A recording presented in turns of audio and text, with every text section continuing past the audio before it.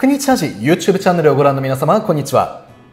新しいワイヤレスイヤホン欲しいなってちょっと検討中です。案内人の M です。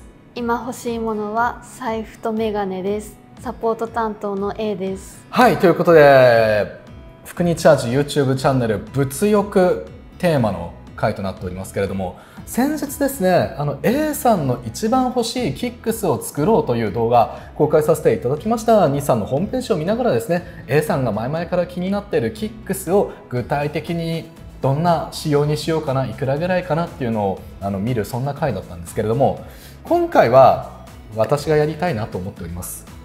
ちなみに私が欲しい車は何でしょうか？エクストレイル。そうです。正解です。あの本当エクストレイル欲しいなって。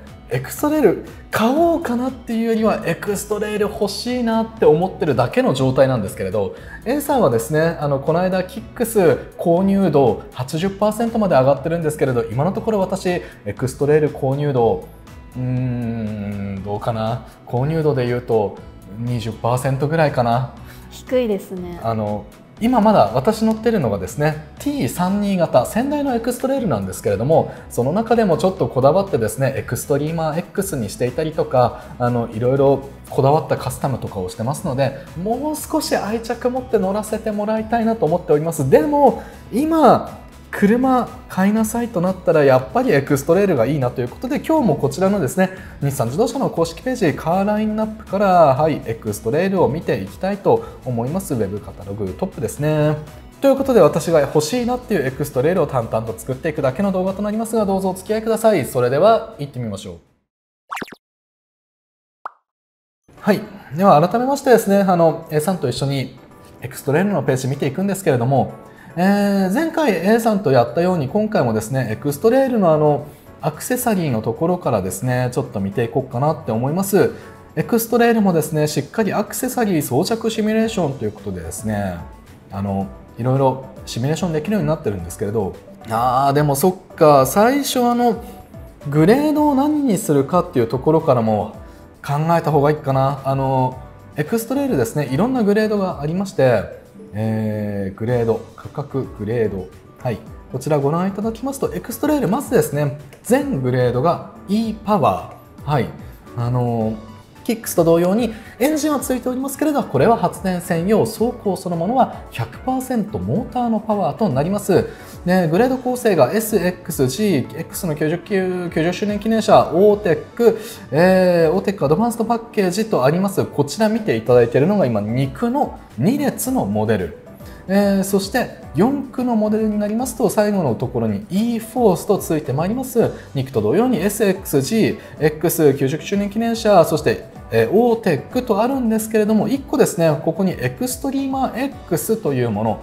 こちら肉の設定ございません。すべて4区でえー、エクストリーマー X というこれも特別グレードがございます。でさらに4区の3列。3列仕様もエクストレールあります。X と X の90周年記念車エクストリーマー X と OTEC にも3列仕様を選べるんですね。でこの3列仕様の車車のボディサイズは全く変わりません。室内の椅子そして荷室があの専用のものになっているというものになりまして、えー、2列仕様3列仕様どんな風に違うのかなっていうのを比べた動画も以前公開しておりますのでぜひこちらもご確認いただければと思います。じゃあ私何がいいのっていうと今回はですねあの私がとにかく欲しい仕様にしたいと思います。値段気にしません。とにかくこれが欲しい。はい。で、行きますと、もう私実は決まってるんです。X の eForce エクストリーマー X2 列仕様と。はい。で、このエクストリーマー X っていうのは、えー、下にあります OTEC と同様に、オーテックという日産のあのカスタム部門のところで製作している車でして、えー、オーテックグレードになりますとちょっとプレミアム志向のものそしてエクストリーマー X というのはちょっとタフ感ワイルド感を増した仕様のものとなっております。私も今乗ってる T32 型のエクストレールもエクストリーマー X 乗ってましてやっぱり買うんだったら次もエクストリーマー X がいいなって思っています。こちらですね。ちなみに A さんこれ見てもらって標準仕様のエクストレイルとエクストリーマー X どの辺違うかってパッと分かります？ホイールですか？あホイール。正解です。ホイールデザインもエクストリーマ X 専用のものになってます。他にもあります。ナンバープレートのあたりは同じですか？えっ、とナンバープレートのあたりっていうと下この辺ですね。バンパーですね。ははい。い、はい。バンパー下部の部分とかもエクストリーマ X 専用のものになっております、えー特別装備見ていただきますとですねはいちょっと分かりにくいんですけれどここのですねあのフロントグリルのクロームメッキにここパーって入ってるんですけどこれがダーク調になっていたりとか、えー専用のアルミホイールがついていたりとか、えールーフレールも専用カラーになっていたりとかであとは前後にですねエクストリーマー X 専用のプロテクターアンダープロテクターが、えーリアとフロントとついておりますと。でさらに標準で防水シート仕様。エクストレイルですね。あの標準だと例えば X グレードだったら布地のシートだけどメーカーオプションで防水シートが選べますよとか、えーそういうシートになってるんですね。でこれはエクストリーマ X タフに使うやつですから防水シートも専用となっておりましてのこのエクストリーマ X いいなって思ってるんです。あーせっかくここにあるんでボディカラー見ましょうか。はい今ご覧いただいているのがステルスグレーとスーパーブラックのツートン。であとホワイトブラックのツートンとシルバーあホワイトのワントーン。で、えブラックのワントーンレッドのワントーンブルーのレッ、えワントーン、えーメタルグレーのワントーンとございますがあの私これ結構気持ちは決まってるんですけれど A さんだったら何色いいです？結構グレーかっこいいじゃないですか。かっこいいんですよ。はい。グレー。ちなみに2種類ありますグレーこれがステルスグレーとスーパーブラックのツートンですね。ルーフがブラックボディがステルスグレー。でダークメタルグレーもこちらこんな感じでとあの実は皆さん A さんも結構エクストレイル好きなんですよ。まだ乗ったことないんですけど。A さん的には。でこのエクストレイルだったら、はい。ダークメタルグレーこれ。ですね。おー。かっこいいんですよ。ダークメタルグレーかっこいいんですよ。あのーこれもですね以前の動画でエクストレールのこのダークメタルグレーとそしてステルスグレーこれを見比べた動画もありますのでぜひこちらも概要欄にリンク入れておきます。見ていただきたいんですがあのステルスグレー一択だったんです前私。でもダークメタルグレーギラギラのやつ見たらうわかっこよってなったんですよね。心決まってって言っときながら私未だにやっぱりちょっと迷うんですけどダークメタルグレーもいいんだよな。いいんだよな。いやでもちょっとでもうんステルスグレーとスーパーブラックのツートンに今回はしたいなって思います。はい、ということで私あの早速ですけれどグレードはエクストリーマー X のステルスグレーがいいなと思っております、えーではその他のオプションですね。あのさっきのシミュレーションのページをですね見ちゃうと実はアクセサリー装着シミュレーションはいこちら見ていただくとですねあの実はこれ標準仕様のエクストレールなんですけれどここにアドベンチャーズパッケージってありますね。フロントリア。はい。こちらにあれ？エクストリーマー X と同じ感じのついてるじゃんって言われるんですよね。そうなんです。ほぼ一緒です。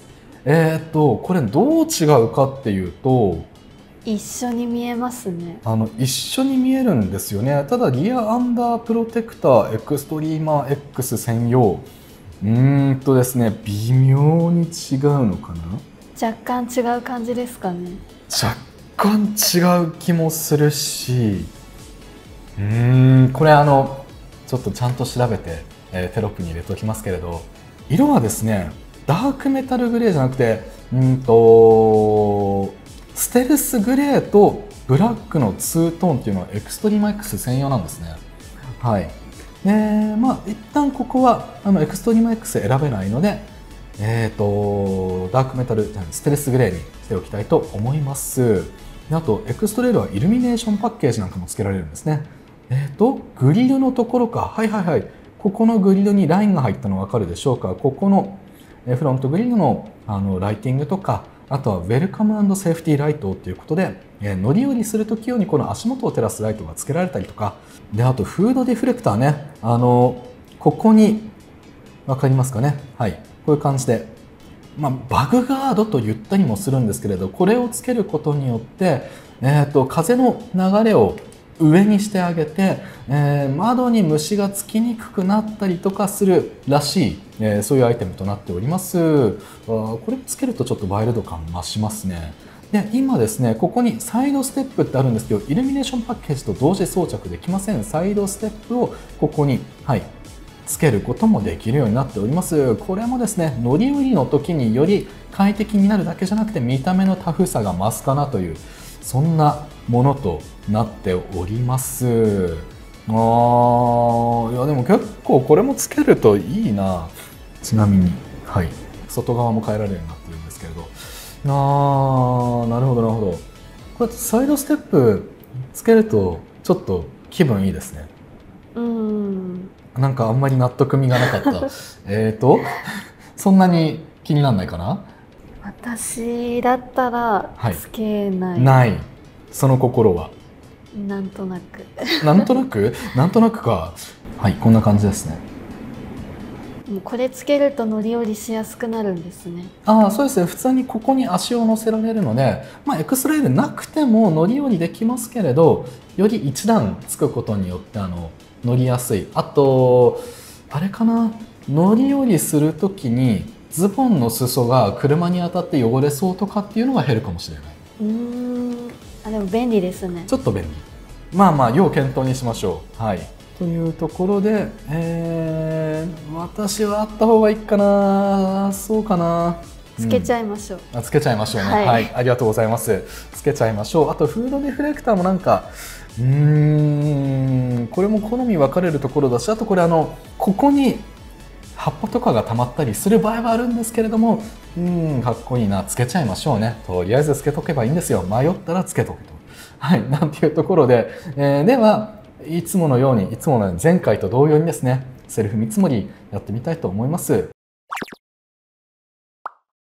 はいエクストリーマー X こちらですね。いやいいな。このホイールがいいな。かっこいいですね。かっこいいですよね。あちなみに標準のホイールがですねはいこんな感じ。これが S グレード。はいこちらが X グレードの標準のアルミホイール。はいこちらがエクストリーマ X 標準と。はいいいじゃないですか。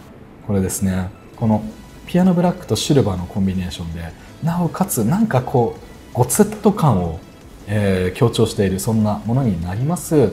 エクストリーマー X はいあやっぱりこのプロテクターの部分ですね。エクストリーマー専用のカラーになってる感じがしますね。LED フォグランプもセットでついてまいります。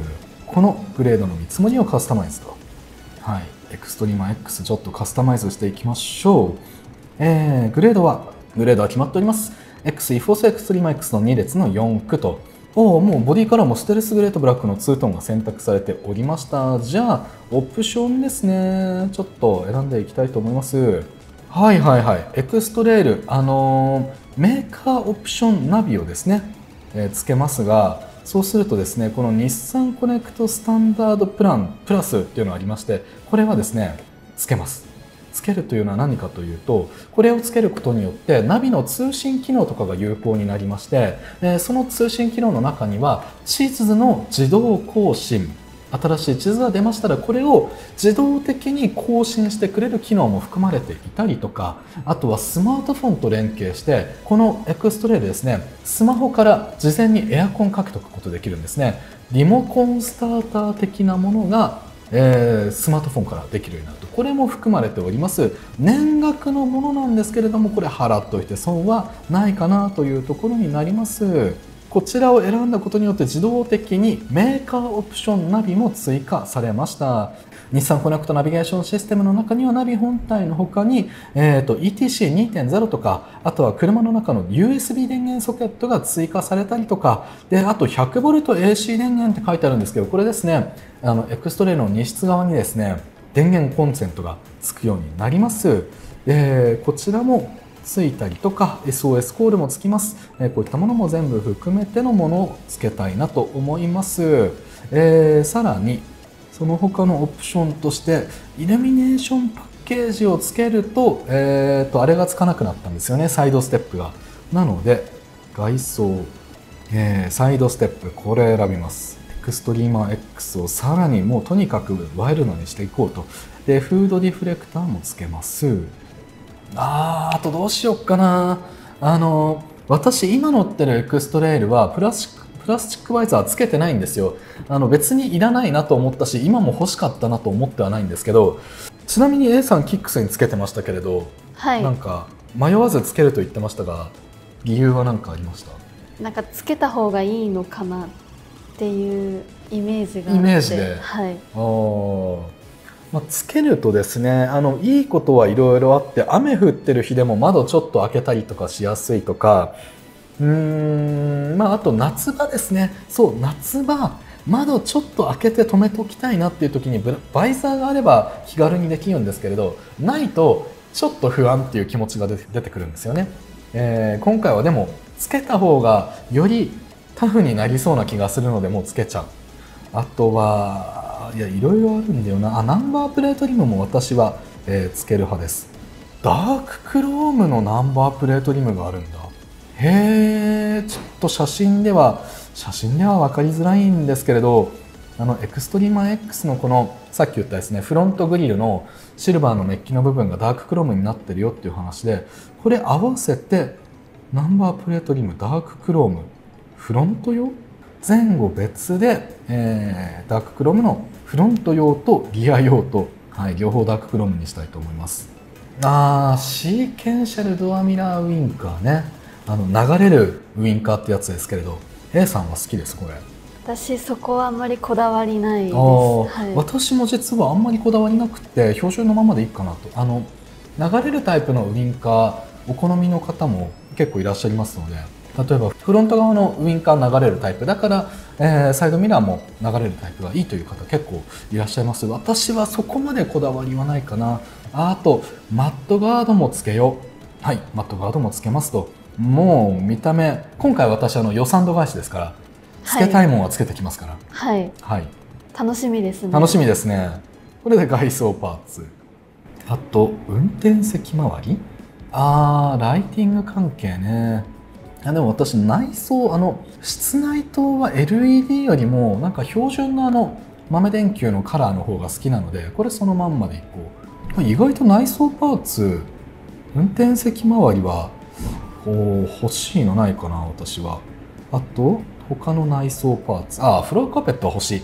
フロアカーペットはデュアルカーペットがいいなと。これはあの表側の、えーなんつうんだろうカーペット地のところを取り外してゴムマットがと、えー出現するというものになります。あとは欲しいのはこの UV&IR カットフィルムこれもつけたい。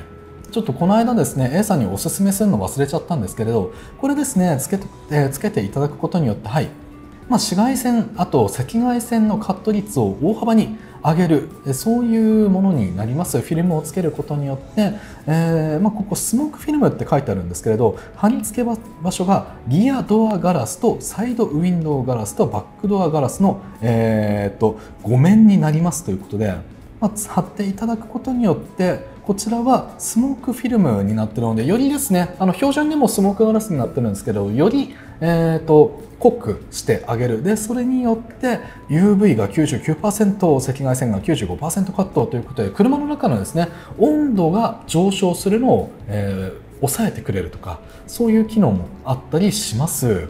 通常のフロントガラスとかフロントウィンサイドウィンドガラスについては標準でですね、紫外線99%カットのものをついております、えーさらに後ろも効果を高めるというものになっておりますと。はい。こちらが欲しいな。あとはオーディオナビ周り。まあ、あのナビ自体はメーカーオプションナビを選択させていただいておりますのでこれで OK で。鉱石モニターはつけないんですか？あ鉱石モニター？なるほど。えっ、とですね。お子様いるから将来的なこと考えて。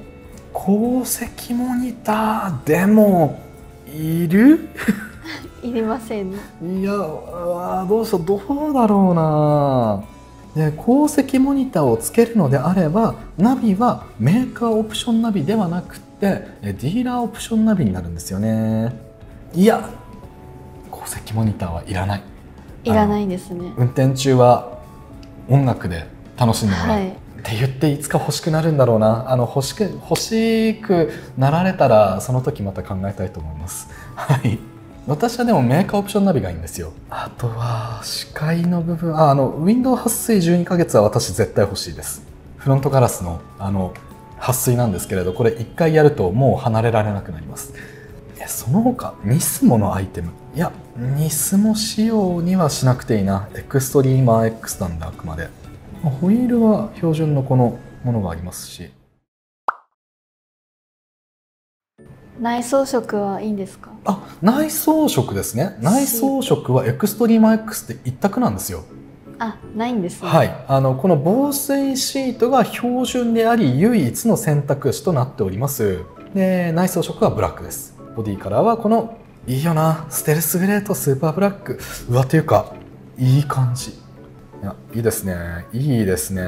ちょっとこのフードディフレクター迷うとこあったんですけどエクストリーマー X でもうフルフルでつけるんだったらこれはあって正解かも。なんか気になるポイントあります？気になるポイント。かっこいいです ありがとうございます。はい、そうですね。あのエクストレイル本当かっこいいなって思うんです。ということで、えー、グレードが X e-4ORCE エクストリーマー X の2列、でボディカラーがステルスグレーとスーパーブラックの2トーンと、でナビを日産コネクトナビゲーションシステムということでメーカーオプションナビをつけておりまして、それとセットで、はい、日産コネクトスタンダードプランプラスということで年額7920円のものに入っております。えー、内装色はブラックのえー、防水シート一択となります。これが欲しいんですよ。で、えー、オプションにあとウィンドウ撥水の12ヶ月とかマットガードとかプラスチックバイザーサイドステップフードディフレクターナンバープレートリムの前後ダーククローム、えー、デュアルカーペットと UV&IR カットフィルムをつけております、えー、ホイールはエクストリーム X 専用のデザインのものがついています。おちなみにサイズが 23560R18 ですね。はいという感じで524万3510円。高いですね。いや。高くないですか？あの高いです。私もあの525万円の車を買えいって言われたらポンと出せないんですけれどもどうかな？500 525万か。いけますよ。いけいけますかね？購入レポート待ってます。かしこまりました、はい、あのただですね皆さんあのエクストレール525万回をうわーとかうわエクストレールって値段高くなったなとかって思われるかもしれないんですけれどいや実際値段高くなりました。ただ乗っていただくとですねあのこの値段に十分に見合ったなんならそれ以上じゃないかなっていうぐらいの性能そして走りのあの良さ静粛性の高さ、えー、インテリアの高級感とか満足感とかそういうのもそういったものがですねしっかり感じられる車になっておりますので分割残価設定でお願いします。ちなみに購入度は何パーセントに変わりました？あと22%ぐらい。あんまり変わらないんですね。あのこれはですね先に皆さんにも言わせてください。今のエクストレール気に入ってるんですよ私。まだまだ乗りたいなと思っておりますのでえー、500万か。購入するときは必ず皆様にお知らせしたいと思います。えー、あと購入するときにですね全然違う車買っているやないかいっていうツッコミがあるかもしれませんけれどそれはそれでかなと思いますのでお楽しみに、えー、最後 A さんから何か一言ありましたら。私はキックス派ですけど、はい、でもやっぱりエクストレイルもかっこいいですね。かっこいいんですよこれ。大きさも結構大きいので、はい、かっこいいです、かっこいいですねあの近いうちにですね A さんにエクストレイルも乗ってもらいたいなと思っておりますそして案外乗ってみるとキックスよりエクストレイルの方がいいなってなるかもしれませんのでそんなところもですね楽しみにいきたいと思います福にチャージ YouTube チャンネルは毎日更新です。チャンネル登録をしていただくと見逃しがございませんのでお勧めしております。また今回の動画いいなと思った方はぜひグッドボタンで応援してください。それでは次の動画でお会いしましょう。ではまた。